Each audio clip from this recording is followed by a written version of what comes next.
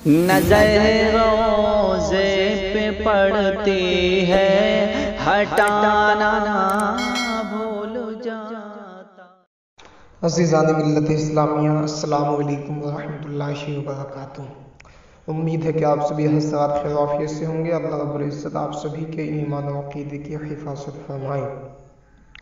बरदरान मिलत इस्लामिया, देखा जाता है कि हमारी काफ़ी आवाम भाई किसी की ज़ाहिरदारी नेकी और कोई अच्छा काम देखकर उसकी तारीफ़ करने लगते हैं और उससे मुतासर हो जाते हैं, जबकि इस्लामी नुक्ता नज़रिए से कोई नेकी उस वक्त तक कार आमद नहीं है, जब तक कि उसका ईमान व अकीदा दुरुस्त ना हो। यानी इंसान चाहे कितने भी अच्छे अमल कर ले कितने ही नेक काम कर ले, अगर उसका ईमान अकीदा दुरुस्त नहीं है तो उसका कोई भी अमल बारगाह रसूल में कबूल नहीं है। बरदार मिलत इस्लामिया, आप अंदाज़ा लगाएँ कि रसोल्ला सल्लल्लाहु अलैहि ने जब ऐलान नबूबत फरमाया था तो पहले नमाज़, ज़क़़त, रोज़ा, हज अहकाम आमाल का हुक्म नहीं दिया था, बल्कि ये फरमाया था कि अल्लाह को एक मानो बुतों की पूजा से बास आ जाओ, मुझको अल्लाह का रसूल मानो।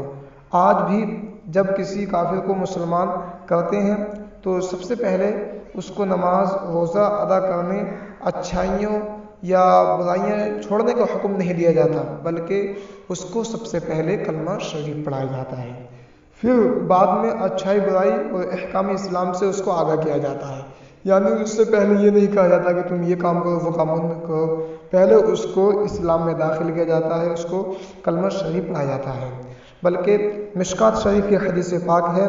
मुस्तफ़ा करीम सल्लल्लाहु अलैहि वसल्लम ने फरमाया कि अगर कोई शख्स उहद पहाड़ के बराबर भी सोना राह खुदा में खर्च करे खुदा ताला कबूल नहीं फरमाएगा जब तक कि वो तकदीर पर ईमान ना लाए। इस हदीस से खूब वाजा हो गया कि जो इस्लाम के लिए ज़रूरी अकायद ना रखता हो, उसकी कोई नेकी नेकी नहीं है। और दूसरी बात, अल्लाह रब्बुल इज़्ज़त कलाम मुक़द्दस में इरशाद फरमाता है कि ये कुरान हिदायत है मुत्तकीन के लिए, जो बगैर देखे ईमान लाए और नमाज़ अदा करते और हमारे दिए हुए माल में से हमारी राह में खर्च करते हैं। इस आयत करीमा से भी अल्लाह इस आयत करीमा में भी अल्लाह रब्बुल इज़्ज़त ने नमाज़ और राह खुदा में खर्च करने से पहले ईमान का ज़िक्र फरमाया है। तो मुहतरम सामरीन।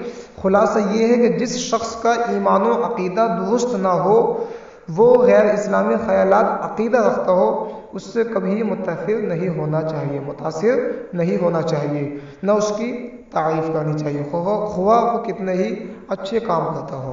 तो बेहदार मिलत इस्लामिया, लेकिन देखा जाता है इंसान सिर्फ़ इंसान के पहनावे को देखता है कि जनाब ये कितना अच्छा काम कर रहा है, उसके ईमान अकीदे को नहीं देखता। हसीसान मिलत इस्लामिया, हम लोगों को चाहिए कि सबसे पहले इंसान का अकीदा देखें कि ये अमल तो कर रहा है, इसका अकीदा किस तरह का है? यानी ईमान अकीदे से ज़्यादा अमल को अहमियत देना। तो मोहतरम सामीन आप हज़ार से गुजारिश है कि आप सबसे पहले इंसान का अकीदा देखें, उसका ईमान देखें, उसके अमल को आप बाद में देखें। लेकिन हमारे आवाम में ये बहुत ज़्यादा मशहूर हो चुका है कि लोग ईमान अकीदे से ज़्यादा लोगों के अमल को अहमियत देते हैं। इसी